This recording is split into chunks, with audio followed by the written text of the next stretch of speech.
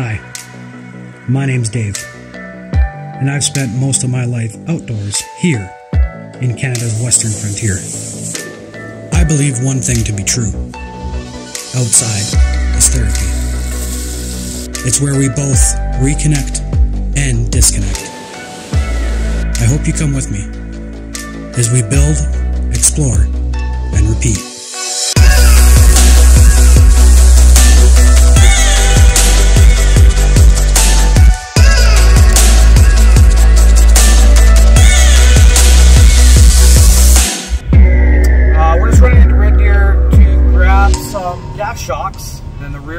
Are very strong. The, the gas struts are pretty are pretty tough to close, but for one, that's because our rear doors you're able to attach stuff to it, which which which makes it heavier. So if you put an axe and a shovel or something like that in there, then it's going to reduce.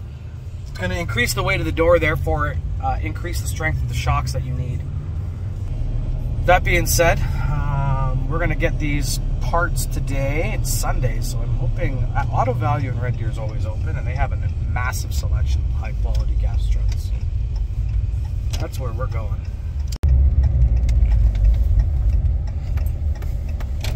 Oh, Nissan Frontier.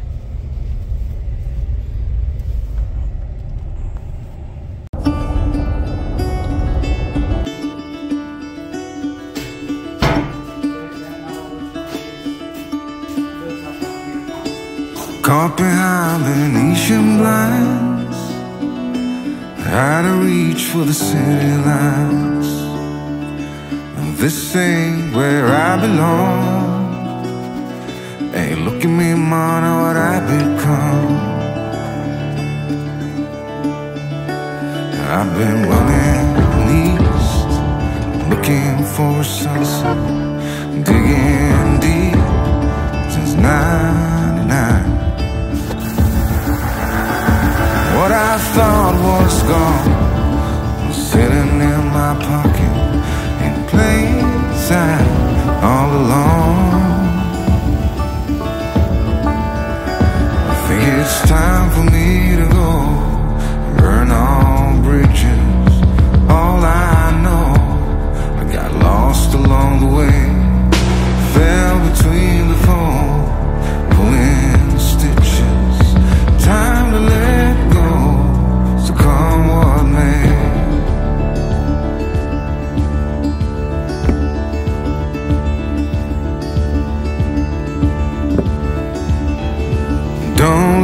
Before you leave. What you give, you get to keep. All right, guys, happy Tuesday. Uh, we got lit on today after work. We've got latches and seals in the door. We're still waiting on some gas struts, but um, our platforms, what happens when these things start getting built, um, they get a little heavy for the platforms. um, so a six foot model weighs anywhere from 460 pounds ish. And uh, when we're moving these platforms around, specifically when we're bringing them over into here for install um, onto the trailer so we can bring them to Jordan's, they become a little tricky. So what I'm doing right now is just adding some skin with some cutoffs to the outside just to get a little bit of structure. So that's what we're gonna do now.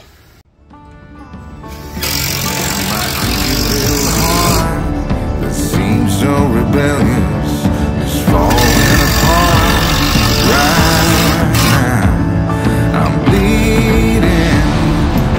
Hi, Johnny.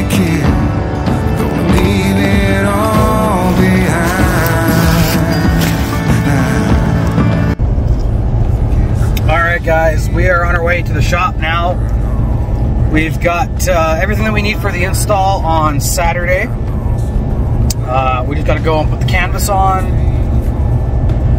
and uh, the internal cabinet stuff, get that all situated. And then Friday, Jordan's going to have our awning brackets and our electrical mole panel done. So we'll pick that up and install that last thing. We're, we're doing well, I think. I think we're right on track. So uh, there's nothing else to do but just to get back to work.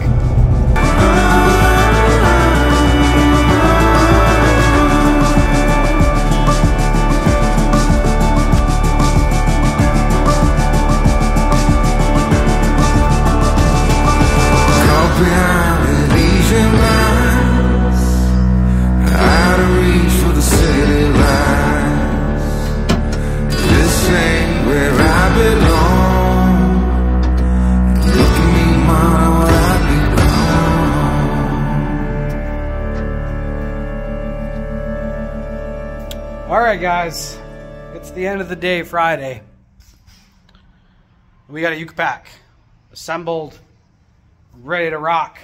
There's a couple of a couple of challenges with this one. So we are installing. Um, our customers bought a 270 quick pitch awning, which, if you're familiar with the video that went semi-viral uh, during uh, Overland Expo West, uh, this awning is ridiculously strong.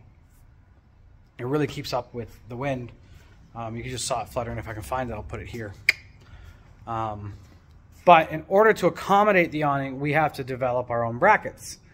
So we've done so, which are these guys right here. They're kind of hard to see, actually. There you go. Which are these guys right here. So this allows you to run almost any awning, really. Um, but as a general rule, um, typically we like to be able to conceptualize something and throw it on a, on the prototype and then test it out. Unfortunately, with this one, because the uh, the delivery date was so tight and we had to make it work, um, we had to just risk it for the biscuit and throw them on. I'll give you guys a really quick uh, peekaboo at it. I'll flip the camera around here. Go wide. All right, so there you go. That is uh, that is our six foot Tacoma model. Uh, as you guys can see, we've actually made some changes, and these are the changes that we'll be sticking with going forward. We've got full zip out doors now right? So uh, a bug mesh uh, on one side and then a zip up door on the other side that rolls down and you can cleat it to the bottom. Um, that was a very, very heavy requested uh, modification to our current, our previous design, which is our prototype right down here. Um, and bingo, that's, that's, that's what we've turned into. We still have our, our big picture window on the other side, our big PVC picture window. I love that thing. Uh, we're going to try and keep it as much as we can, but there is um, on earlier models, we do have uh, the thickness of this plus the Velcro plus the bug net plus the blackout on the other side makes that super, super thick. And it was creating too many fail points. So we just went with a solid rear PVC window. Uh, we've installed, we're now installing these little pull down handles. Uh, we're gonna put one of those on Jordan's unit as well when we get it back for some maintenance. This September, um, and then we also went with an external bungee instead of an internal bungee because it eliminates a step. If you forget to install your bungee, you actually have to open it up, move your panels out, put the bungee back on, and then close it. This way, it's the last thing you do. You just bungee to the outside, and away you go. And yeah, so there you go, guys. Oh, and then he also, uh, Vlad also upgraded to the rigid uh, exterior lights. I know Jordan from Tread Ahead Garage, he did this mod. And uh, Vlad saw it, so he's like, yep, that's, that's what I want to do. Uh, another really cool thing about these brackets, guys, um, so what we're going to be attempting to do here is we're going to be doing a modular bracket system. So if you want to add any sort of Yucca Pac accessories like a bike carrier on the side or a kayak carrier, uh, an awning, uh, a water port, anything like that. These are going to be the brackets that you're going to start with. So these are going to allow any other accessory that we build to attach to these style of brackets. You install them, they stay there forever, and you can just modular, you can swap them out. So tomorrow, well, we're going to go ahead and install that. I'm just waiting for Jason uh, to swing by the shop right now. He should be pulling up any minute. Uh, you guys know Jason, he runs the Overland Alberta YouTube channel and the Facebook page and all the other ways that he's managed to monetize his incredibly cordial and awesome little group that he's created. He's created quite the quite the community and it's it's a really it's really fun to be a part of it. Um, so, yeah, we're gonna we're gonna install this guy uh, tomorrow, and I will try to do more filming for that for you guys, so you can guys can kind of see what's. I got Sikaflex on my face, don't I? I do. Um, yeah, and then we will uh, then we will install the awning, and then Vlad is going to be making the trek back to Vancouver. So we want to make sure this thing is tickety boo and ready for him because if he has any issues on the way or he's in NBC and he has any issues, then it's, it's going to be a little difficult to, to try to, to get out there and sort anything out. So we want to make sure that none of that happens. Uh, so we're going to go through a QC checklist with this guy right away. Um, this thing looks really nice, man. This one looks really nice. And then next week, uh, uh, Monday next week, Sandy is going to be installing this six foot Tacoma. Um, so as soon as that one's done, we are coming back here this weekend and jumping back on Sandy's unit. Uh, Sandy's unit is virtually wired up, so it's going to go pretty quick. There's a few knickknacks that we need to to connect and whatnot and run some wires for. But he's just about ready for doors and a top. So we're going to throw those on this weekend and uh, do this all over again the weekend after that. And then probably a few weekends after that too, and so on and so forth. Um, and Expo, man, Expo is bearing down on us. Everybody's like, oh man, it's only 30 days till Expo. And I'm like, I know, I know, I know. Man, is it ever coming up fast. But we got this. We got this. We got this. Anyway, guys, that's going to do it for me today here at the Adventure Factory. I'm waiting for Jason to pop by. He's going to do a live with Smart Tent. Uh, you guys know Smart Tent. Smart Tent's been around for a while. Very good brand. You guys know him very well. It's Cody is the owner of Smart Tent. So Jason's going to be going live with him. And uh, he said he's bringing supper, which I'm super stoked about. But now I'm going to end it with you guys here and uh, touch base with you guys tomorrow when we get ready to do this install.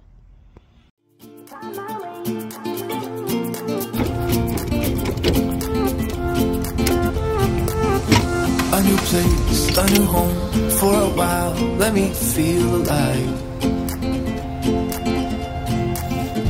Nothing to hold me back. Take my time, just enjoy the ride. A new man passing by. Life is good, best I've ever felt. Get me up, somewhere new, somewhere I can find myself. Oh, I feel, I feel, I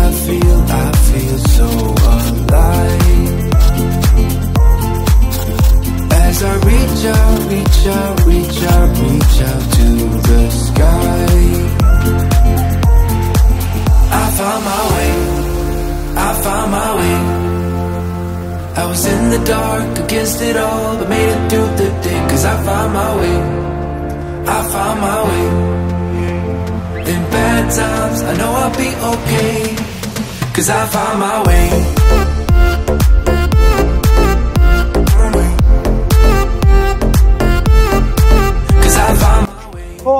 Right, gang. We got Vlad and Anthi. You guys remember them from the BC Overland Rally. That's where uh, they came by and checked out the prototype. And uh, the dilly daller or Dalton is dallying his diddle. And cut. And, and Zach, Zach's got the jokes. Uh, but we're sitting here. We've got the uh, the Yucca Pac uh, nested on the on the Tacoma right now. Looks really good, guys. We're gonna go through now, just confirm all of our corners, make sure that we're good in all of our gaps. Uh, then we're gonna go through and we're gonna start drilling the holes for the clamps. Once that's done, we'll boogie back to the shop and uh, wire up the rear tail light. And uh, Vlad had a little bit of uh, little bit of road damage on the way out here, so we just want to make sure that the tailgate and everything like that is tickety boo for their drive home. And then they're going to be out of here on their way back to Vancouver. So if you guys are from the Vancouver area, you're going to see this unit here in the next couple of days. So uh, we also got to put the awning on it. So let's let's get back to her.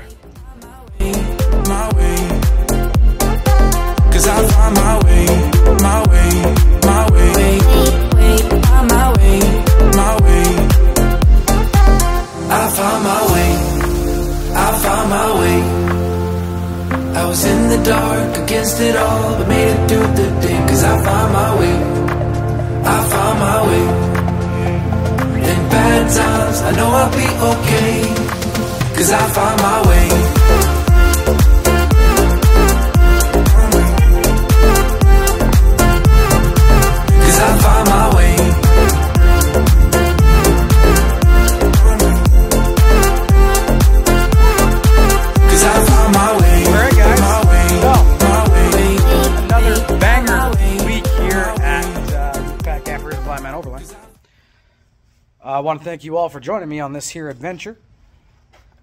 Um, Zachary has just made a rather astute observation, and that is that it is currently fishing time.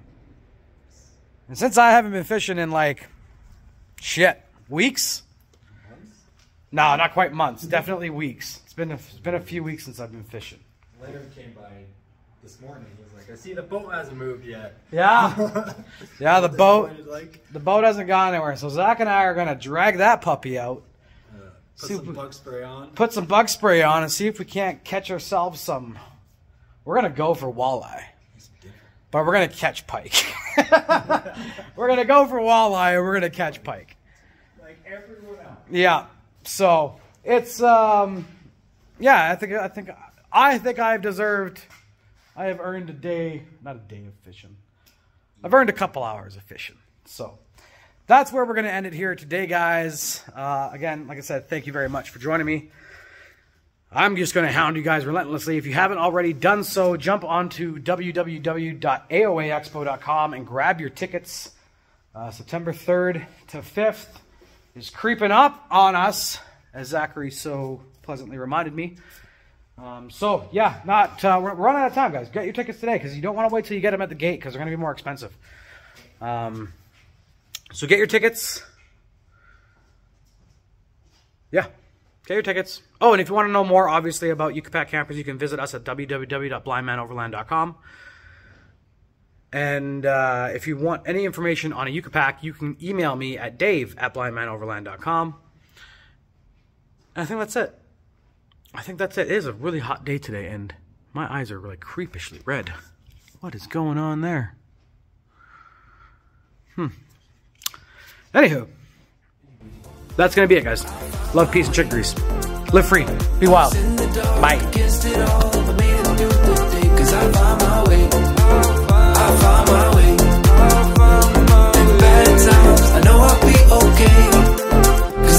my way